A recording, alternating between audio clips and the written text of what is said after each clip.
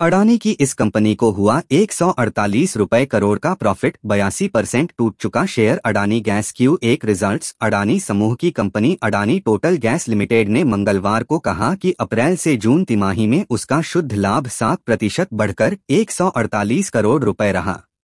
Company ने share बाजारों को तिमाही नतीजों की सूचना देते हुए कहा कि एक साल पहले की समान तिमाही में कंपनी का शुद्ध लाभ एक सौ अड़तीस करोड़ रुपए रहा था।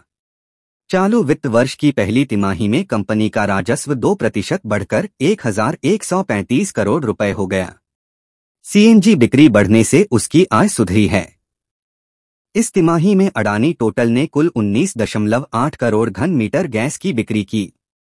इसमें से सीएनजी की बिक्री 18 प्रतिशत बढ़कर बारह दशमलव आठ करोड़ घन मीटर हो गई। आलोच्य तिमाही में कंपनी के सीएनजी स्टेशनों की संख्या बढ़कर चार सौ सड़सठ हो गई, जबकि वह पाइप से रसोई गैस की आपूर्ति सात दशमलव दो आठ लाख घरों तक कर रही है। अडानी टोटल गैस के मुख्य कार्यपालक अधिकारी सुरेश पी मंगलानी ने कहा, अप्रैल से जून तिमाही की शुरुआत में ही सरकार ने गैस कीमतों के निर्धारण संबंधी अहम बदलाव किए थे, जिससे कंपनी को पीएनजी और सीएनजी की कीमतें घटाने में मदद मिली।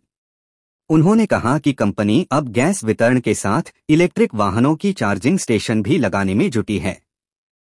इसके अलावा कचरे से बायोगैस बनाने और भारी वाहनों के लिए एलएनजी स्टेशन लगाने की संभावनाएँ भी तलाश रही है। कंपनी के शेयर कंपनी मामूली गिरावट के साथ छह रुपए पर बंद हुए हैं। इस साल वाईटीडी में यह शेयर बयासी परसेंट तक गिरा है। वहीं पिछले एक साल में यह शेयर उनासी दशमलव छह पाँच परसेंट टूट चुका है।